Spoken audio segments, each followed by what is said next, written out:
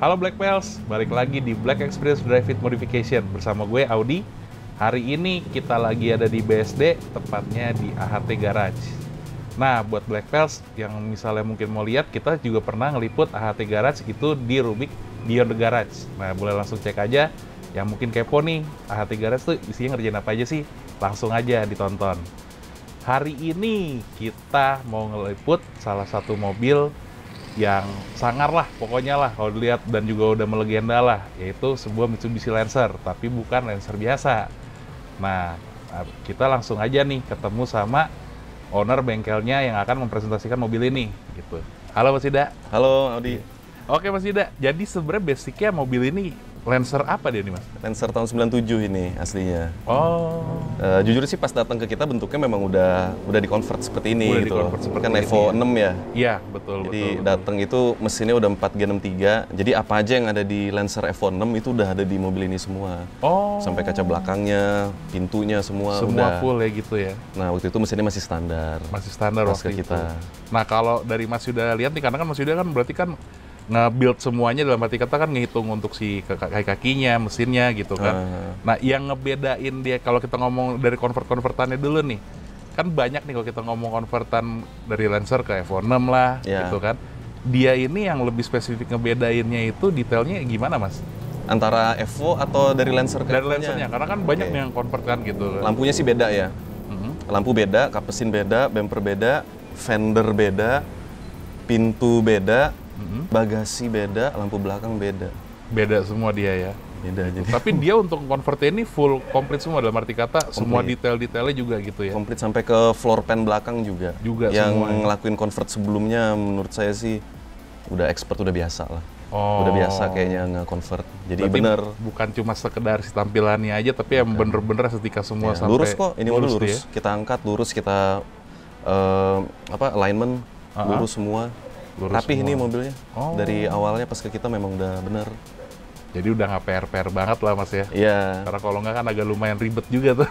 ya itu jadi project besar sih sebenarnya. Yeah. Kalau mau dari awal lagi kan Bener. sebenarnya panjang prosesnya. Prosesnya betul. Nah berarti kan waktu mobil ini datang ke AHT nih mas, hmm. ini kan sebenarnya udah di-convert nih. Hmm. Sebenarnya si ownernya itu datang ke sini tuh target yang dia mau achieve tuh gimana sih mas? Uh, jadi sebenarnya sih mesinnya aman-aman aja waktu baru datang, uh -huh. semuanya masih standar uh, dia pengen upgrade, hmm. upgrade power naik 100 HP lah dari sebelumnya lah ibaratnya gitu. Oh jadi tadi target awal tuh dari stok powernya dia? Iya, stok Stoknya tadinya tuh... tadinya tuh stok stok power ini kan main di 220-an, 210-an ah. gitu ya. Tapi uh, kata Feby sih dia sempet 270 di KS Nusa tuh. Di KS Nusa 270. 270 di KS Nusa standar menurut saya sih itu untuk kondisi standar sih top sih ya. Top bener. Udah, bener. udah mantep lah. Turbo masih standar, yeah. masih masih standar ya kondisi mesinnya prima lah berarti iya berarti kan prima gitu, kan. bener, uh, berarti uh, memang sehat nih mobil sehat, gitu. bener. nah dia targetnya mau naik ke 350 sampai 400-an oh jadi target awal tiga setengah kalau nggak 400, 400 tuh ya? 400-an ya Sebenarnya peruntukan dia tuh buat apa mas mobil ini? Oh, mayoritasnya harian sih ya. Oh harian ya? Mayoritas harian, cuman setiap ada event drag race selalu ikut. Oh jadi hobi drag race juga? Hobi drag race. Oh. Jadi uh, mobilnya dibikin mobil weekend lah mungkin ya kategorinya yeah, ya. Weekend, bener. weekend warrior kali ya? Iya. Yeah, Sehari-hari bisa. Hari-hari bisa, tapi mau ditimpa kalau ada acara juga ada bisa. Acara juga mau bisa. Bener, bener, bener, bener. Nah, terus langkah-langkahnya apa aja masih udah berarti kalau dari si mesin? Uh, yang dirubah di kita tuh pertama udah pasti mesin ya. Mm -hmm. Jadi pertama tuh dia ganti turbo. Oke. Okay. GT35 dia pakai itu kan mm, cukup besar lah ukurannya Lumayan untuk 2000 cc. Bener-bener. Nah, gimana caranya supaya nggak terlalu lagging? Dia stroke up pakai uh, Tomei stroker kit. Oh. Jadi ini jadi udah berapa cc 300 ini. 2000? 2300. 300. Dari 2000 ya dia? Dari 2000. 2000 2300. Piston, stang semuanya Tomei, udah okay. forge semua. Mm -hmm camnya GSC yang S2. Oh. Jadi udah pakai cam gede. Cam gede bener. Nah, cam atasnya gede. Udah pakai titanium retainer segala sama uh, valve springnya juga udah pada upgrade semua Sampai gitu. juga upgrade ya, semua. Jadi ya full sih ya. Mesin sih uh, lengkap. lengkap. ARP ya. head start, ARP main start, atas bawah baut udah ARP semua. Udah diganti ARP semua. Udah. Jadi ya ibaratnya sih dari sisi mesin sih ya udah lengkap gitu. Udah lengkap nah, ya. Tujuannya kenapa itu dulu yang di tackle? Uh -huh. Ya pertama tadi ya naik CC karena turbonya bener. mau yang lebih besar. Biasanya kan turbo gede itu lagging, kalau di CC bener. kecil. Jadi CC-nya mau nggak mau dinaikin lagi, bener. Nah, eh, setelah udah naik turbo, naik cc, eh, berikutnya tentunya kan asuransinya. Iya, Ya kita kan pingin punya mobil kan yang kalau kita ngebangun mobil tuh pengennya kan umurnya panjang. iya reliable lah ya. Apalagi mau harian juga Benar. kan. Harian kondisi di Indonesia kan juga sebenarnya nggak gitu ideal lah untuk Betul. mobil-mobil turbo. Betul. Nah, berarti sisanya itu masuk di insurance kayak bloknya tadi pakai ARP, Hmm. head start, main start, itu reliability. Sama si piston sama stangnya pakai Tomei Force juga, itu reliability. ya, Reliability, sebenarnya sih kalau menurut saya overbuild sih sebenarnya ya. Hmm. Agak sedikit overbuild untuk uh, keperluannya, tapi harian dipakai di harian di Indonesia itu terlalu banyak faktor sih Iya, sebenarnya. bener sih Mas. Jadi lebih baik kita insurance-nya kita uh, kenain dulu nih bener. ke depannya nanti dia mau naik lagi HP-nya 500, 600, 700 ya Masih udah nggak banyak lagi Bener. gitu loh. Udah, Karena kan udah- si mesinnya sendiri udah diperkuat nih dia udah. nih, bener. Pompa olinya juga ini udah ganti, pompa oli Oh, udah upgrade juga. juga, pakai ACL. Jadi ya semua yang berhubungan dengan lubrikasi sama kekuatan ya udah. Hmm. Apalagi 4 Gen 3 kan kita semua tahu memang bloknya debadak dari sananya gitu. Iya, udah bener bener kuat bener dia. bener. Nah, jadi itu kalau dari sisi mesin. Kalau si ECU-nya gimana dia? Ini coba pakai standalone, pakai Link ECU G4 Plus Extreme. Oh, Jadi beneran udah full standalone, full standalone dia ya. full standalone dia. Berarti udah ya Mas Yuda habis itu tinggal nyeting semuanya Ya, lagi kemarin. nyeting. Kita ngetuning karena kita dyno kita kan 2 WD ya. ya? Iya. Kita kalau 4 WD kita ngetuning ke KS Nusa. Oh. Ngetuning di sana. Nah, tapi sana. setelah udah dari sana ada beberapa upgradean lagi misalnya gitu ya Hmm. udah tinggal ngetuning ngetuning santai di jalan lah paling. Ya masih. Malam, iya. Tapi ya istilahnya tuh tinggal kayak nambah-nambah dikitnya lagi aja gitu Mas. yang kurang Ya, gitu itu kan gimana. paling drivability issues lah. Yang kan itu juga harus tuning. Idle-nya mau gimana. benar benar. Kalau kita lagi cruising, pinginnya seirit apa mobilnya Hmm. gitu. Kalau ada ajur-ajurutannya di RPM mana, itu kan harus dirapi-rapihin. Hmm, hmm. Nah itu banyak habis waktu di jalanan lah kita. Jadi macet-macetan emang kita cari, coba macet gitu, macet sambil tuning gitu. Malah ya. dicari itu Mas ya. Cari mana yang nggak enaknya. Ya karena soalnya buat harian juga sih Mas ya. Iya, Jadi kondisi real harian. jalanan tuh ya emang mesti dijalanin gitu Iya. ya. Bener bener bener. Nah, akhirnya output tenaganya jadi berapa sekarang Mas? Ini pakai dia ngebus 1,3 sama 1,5 bar. 1,5 Hmm. bar pakai Pertamax Turbo dia di 360. Ah, ah. Kalau pakai Bensol dia di 400. Oh jadi sesuai target lah yang dicapai. Iya, sesuai lah. Tapi kalau buat di track Mas kan Mas Yuda bilang dia dipakai buat sering, sering track race juga gitu kan. Mhm. Ini kena berapa waktunya Mas kalau 400 meter? Kalau pakai Bensol dia 11.7 nih. Oh 11.7. 11.7. Kondisi Tapi kayak begini gitu. Kondisi begini nih 11.7. Kalau pakai Pertamax Turbo 12.3 atau 12.2 apa? Oh. 12 rendah. Ya, cuman eh, harusnya sih masih bisa improve ya karena kan drag Iya. race kan launch-nya juga harus bener Betul, gitu ya. betul, betul, macam-macam. betul, betul, betul. Jadi ya apalagi ini juga kalau nggak terakhir itu masih pakai gardan standar biasa. Sekarang udah pakai gardan RS nih. Oh ini udah diganti. Udah, tapi belum ngetes lagi. Oh belum ngetes Iya. lagi. Maksudnya si FORS itu mas? Iya, gardannya Oh. pakai gardan FRS kan lebih kuat tuh. Iya, Kalau misalnya kita benar. mau nyentak dari start kan mau nyentak lebih Iya, kuat dia. Lebih Nah, tapi belum sempat gitu. ngetes lagi. Oh belum ngetes lagi. ya kan belum ada event lagi. Iya bener, eventnya belum ada sih. belum ada lagi. Ini berarti total nge-build mobil ini berapa lama mas? Di kita sih cepet sih karena mesin doang ya. Ah, ah, ah, yang lama itu sebenarnya kan bangun mobil itu fabrikasi. Kalau kita Iya. ngebangun mobil yang terlalu aneh gitu loh, bodinya Hmm. apa, mesinnya apa, itu lama tuh. Iya. Tapi kalau misalnya dateng tinggal mesin doang ya, kok nggak salah sebulan sih. Sebulan kurang lebih Sebulan. pengerjaan mobil ini. Begitu ya? parts lengkap datang semua nih, Mhm. ngerjain ya sebulan, sebulan kurang kali ya. Sebulan kurang. Cepet ya. kok. Cepet itu mas hitungannya lumayan. Cepet. Karena memang mobilnya udah jadi ya tadi saya bilang, makanya kalau misalnya kita bangun mobil kalau stepnya benar, Hmm. Iya. ngelanjutinnya enak. Benar, nah, menurut benar. saya mobil ini stepnya benar nih dari Dan ini awal udah nge-convert. disiapkan juga untuk Iya. kalau mau naik lagi ya mas ya? Iya, Oh. udah bener. Jadi kan kita tinggal ngelanjutin tuh. Benar, Begitu benar. mau upgrade mesin berarti kan mesinnya aja Iya. yang kita mainin kan angkat mesin seharian. Mm-mm. Bongkar lagi ngukur semua paling semingguan lah. Benar, benar. Bawa benar. machining semingguan lagi, ya tiga minggu empat minggu kelar aja mobilnya udah. Jadi ya sebulan Iya, lah ya sebulan. waktunya ya. Ya cuman dia memang sampai upgrade ke kopling juga. Kopling Oh. pakai Ogura. Waduh, Ogura twin plate. Makanya kalau pencet kopling kerincing-kerincing. Iya. Ya, tapi- waktu lagi maju mundur ya. ya ada power kan kayak gitu ya ada temennya semua. Kalau kita naikin power nanti dia nyari yang terlemah. Iya. Mesin udah kuat yang terlemah apa? Kopling. Benar. Ya kan berarti kopling harus upgrade. Nah kopling udah kuat nyari lagi tuh transmisi atau gardan. Mm. ya kan atau Asroda. Asroda bener. Iya, nah itu juga nanti ngikut gitu. Berarti masih se- sampai sekarang juga masih terus nge-research gitu Ini juga? sudah diganti sama belakang. Oh semuanya udah, nih? Udah. Luar biasa Udah ya. sekalian waktu itu. jadi- Sekalian waktu iya. itu Yang semuanya. RS aja karena RS sama Asroda belakang baru kalau nggak salah tuh tiga bulan yang lalu apa baru naik nih. Tiga bulan lalu baru naik, baru dapat parts baru dapat partsnya ya. masuk naikin ya itu dua tiga hari lah tiga kerjaannya. hari, Udah, benar. kelar. Ngeplak juga dia mas ya langsung? Ngeplak kok langsung. Jadi nggak ada fabrikasinya lagi ya dia? Nggak ada. Jadi kalau mau belanja ya memang belanja parts carinya buat Uh-huh. Evo 6 aja udah. Iya benar sih. Heeh. Ya karena ya mobil udah jadi F1 Udah sih. jadi Evo 6. Iya. bener bener bener. Kalau untuk kaki kakinya mas, ini kan mesin udah istilahnya kan udah ganas nih Iya. sekarang nih gitu kan. Hmm. Kaki kakinya sendiri tuh yang dirubah apa aja mas? Kayak kaki dia sih kalau Evo 6 gini udah bawaan Evo 6 semua sih ya. Heeh. Cuman coilover berarti. Coilover dia ganti. shock sama per ya. Ganti Ah. sama D2 dia. Oh pakai di itu. Pakai di itu. Oke oke. Dia pakai Paling di itu, coilover. sama velgnya juga diganti dia mas ya. Kalau ganti T37 ya ini ya.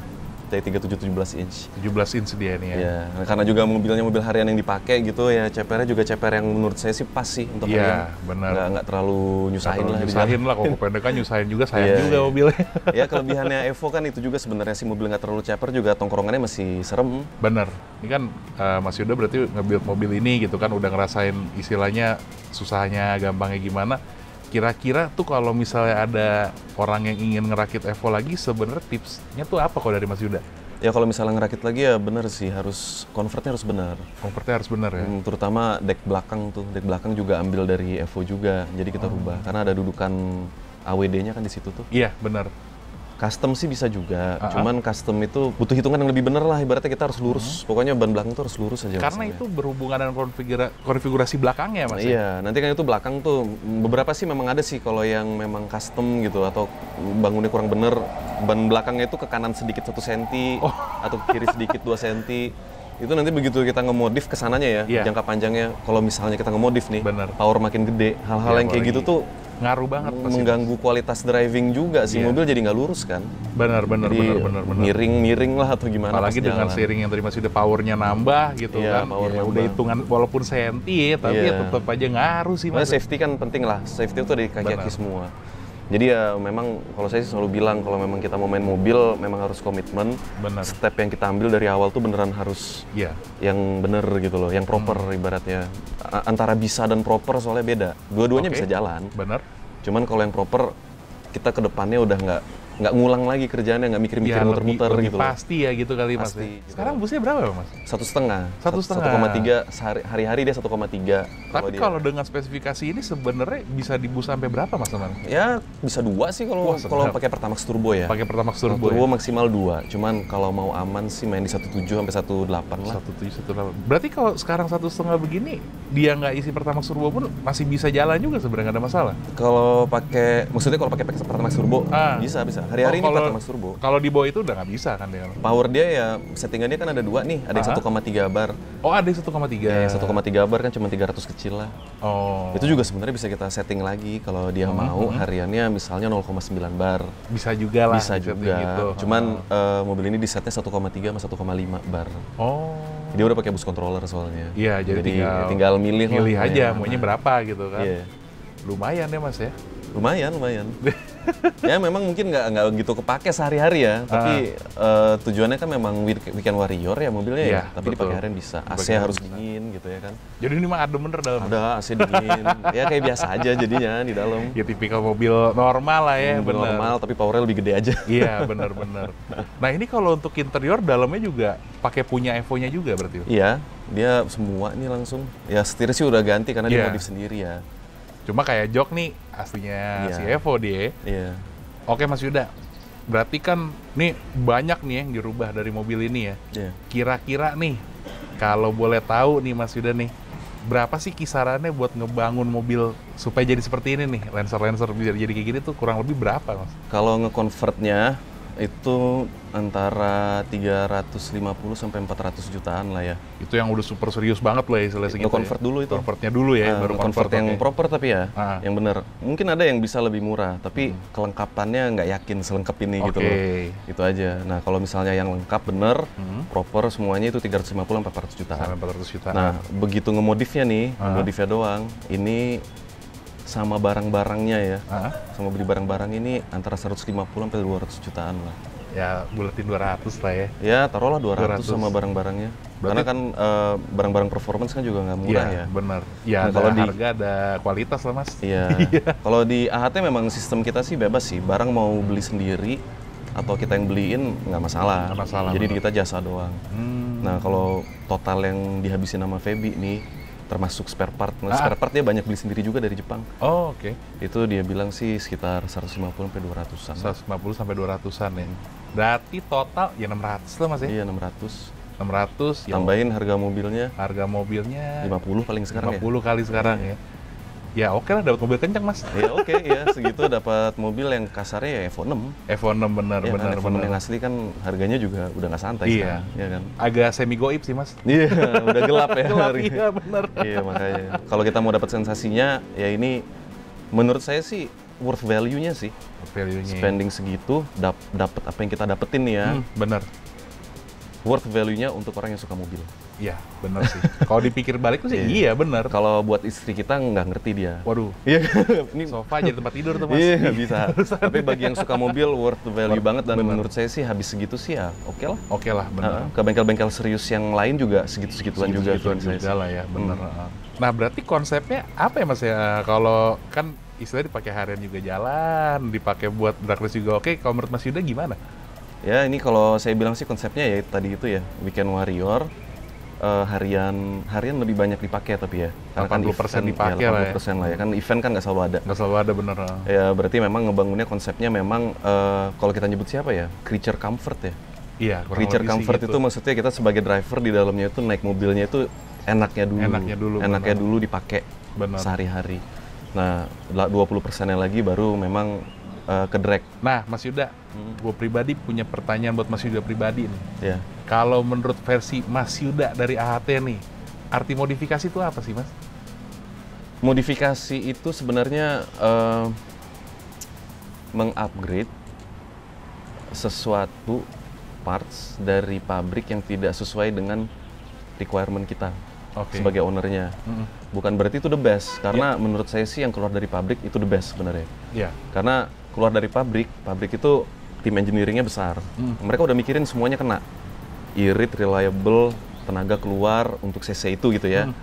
Dan dia udah udah mikirin semuanya kena tuh. Iya. Nah, menurut saya the best memang di situ. Nah, cuman begitu kita yang suka-suka mobil nih, kita punya mobilnya, kita kan punya treats-treats yang eh, unik ya setiap Iya, orang ya. benar. Kayak Mas Audiaya juga mungkin pengen mobil tuh sebenarnya gimana sih? Ya, Iya. kan? masing-masing itu tuh definisinya beda-beda gitu. Benar. Di sinilah modifikasi masuk gitu loh. Jadi modifikasi itu membuat suatu treat di mobil itu Mm. naik level ke level yang lebih tinggi, tapi level yang sesuai dengan requirement kita.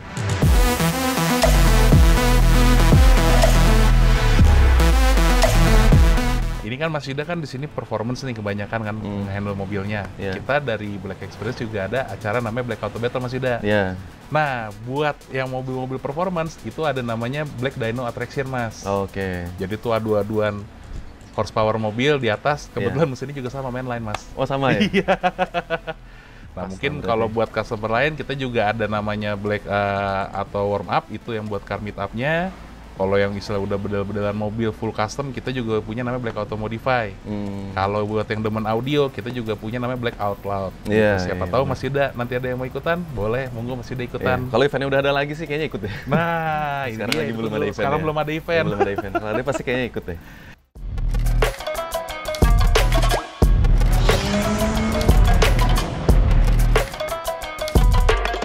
Kurang lebih itulah review kita hari ini soal mobil Lancer yang jadi F6 ini bareng sama Mas Yuda. Mas Yuda, thank you banyak Mas Yuda ya. Sama-sama. Udah direpotin nih. Santai.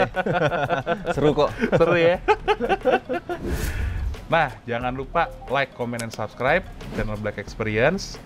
Dan juga tekan tombol notifikasi supaya Black Pals nggak ketinggalan video-video terbaru dari kita. Nah, jangan lupa Black Pals, kalau misalnya ada rekomendasi mobil apa lagi yang untuk kita review, boleh komen di bawah. Jadi kita bisa review sesuai dengan keinginan Black Pals semua. Ikuti terus perkembangan dunia modifikasi hanya di blackexperience.com.